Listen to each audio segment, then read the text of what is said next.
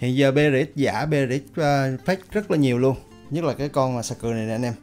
Do nó bán chạy quá cho nên là bây giờ xuất hiện những cái phiên bản fake cho nên là anh em phải lựa những chỗ uy tín để chúng ta mua. Nhưng mà nếu mà là người dùng thì làm sao để phân biệt được? Rất là khó đúng không? Thì hôm nay mình sẽ chỉ cho anh em vài cách để chúng ta có thể nhìn vào cái những cái hoàn thiện với lại mặt số và những chi tiết để anh em có thể phân biệt và đánh giá và đoán được đó là hàng authentic hay không cộng thêm những cái phần chích series nữa thì cái tỷ lệ chính xác nó sẽ cao hơn rất nhiều nha. Rồi bây giờ mình sẽ cùng nhau kiểm tra nha. Mình sẽ uh, bày cho anh em một số cách để chúng ta xem. Đầu tiên mình sẽ bắt đầu với cái con xà cừ trước một chút nữa. Mình sẽ kiểm tra đối chiếu với những con màu xanh màu Tiffany nè. Màu xanh à, màu Tiffany luôn. Thì cái con xà cừ này đầu tiên anh em có thể nhìn vào cái vị trí ở phần kim ngay cái phần dạ quang trắng trắng. Thì bốn cái góc này 1 2 3 4 nó sẽ bo nhẹ còn cái hàm phép mình thấy ở trên à, hình ảnh trên thị trường á, chứ mình chưa cầm trên tay thì cái vị trí này nó sẽ chặt cạnh để mình zoom to hơn cho anh em dễ nhìn nha. Rồi. Đó chúng ta sẽ thấy là cái phần này nó bo tròn nè nó bo nhẹ. Mình nhìn trong à, cái chế độ zoom này thì mình thấy nó bự nhưng mà ở ngoài thì rất nhỏ cho nên để xử lý cái phần bo này cũng rất là khó nha. Rồi cái điểm thứ hai nữa là cái phần thân phía dưới phần thân kim cái phần thân đuôi kim á khi mà anh em nghiêng như thế này thì nó sẽ ánh màu lên. Còn cái con fake á, nó sẽ ra cái màu đen luôn màu đen của thép á màu đen xám.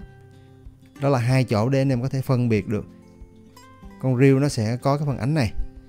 Rồi một điểm nữa là cái màu của cái con này với những cái ô vân sọc uh, vân caro tapisserie nè thì nó là dạng vân nổi khối cho nên cái cái phản xạ màu của nó sẽ rất đẹp.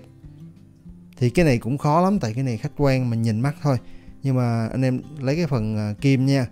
Rồi, bo tròn ở đây và cái màu.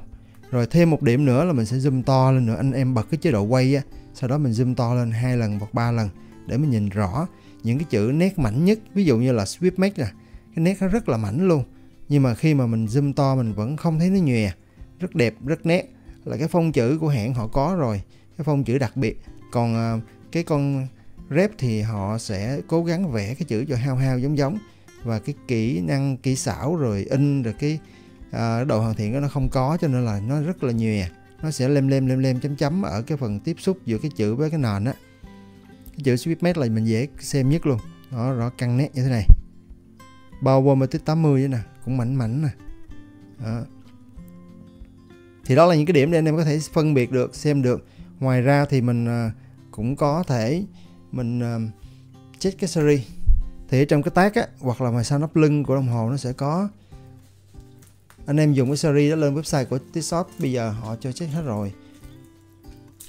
Đây nó sẽ có cái series number nè. 91F4RWCZZ nè. Anh em cứ lấy series này thử đi. Lên website tissotwatchy.com á xong đó mình nhập cái series này vô. Vô cái phần đăng ký đồng hồ. Nhập vô nó sẽ cho anh em à, một đến một cái trang có thông tin là ra đúng cái mẫu này luôn nhưng mà để xem chi tiết nữa thì anh em cứ tạo một tài khoản sau đó add vô calculation là mình xem được cái thông tin là ngày à, ngày mua ngày kích hoạt bảo hành gì đó. Thì ở đây nó sẽ có series number đi kèm nè. Quan trọng nhất là phần mặt đáy nó sẽ có khắc laser trên cái mặt đáy cái phần series number. Đây.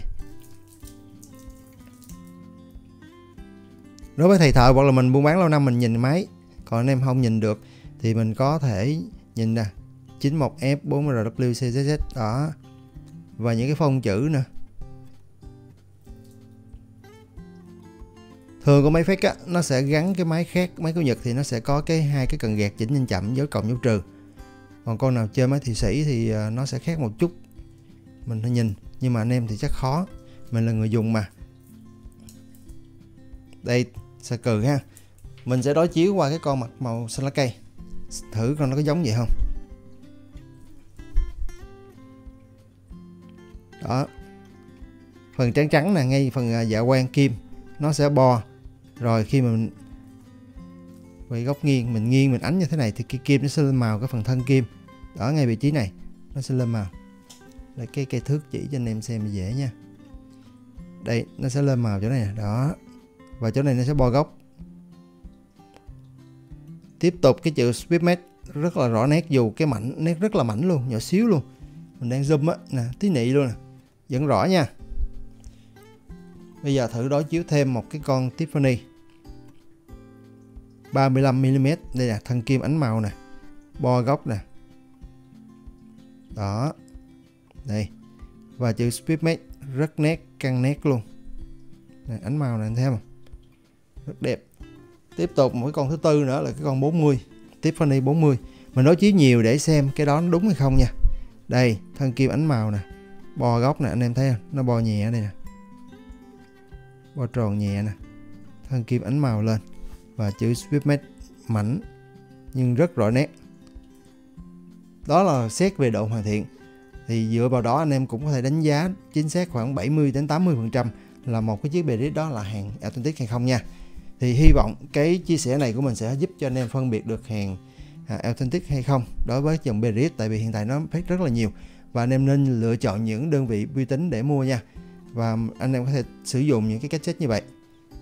Rồi, cảm ơn anh em sẽ đem video, mình là Jimmy. Nếu mà anh em có ý kiến hoặc đóng góp nào, cứ comment bên dưới nha. Chúng ta cùng trao đổi nha. Xin chào và hẹn gặp lại anh em ở cái video lần sau.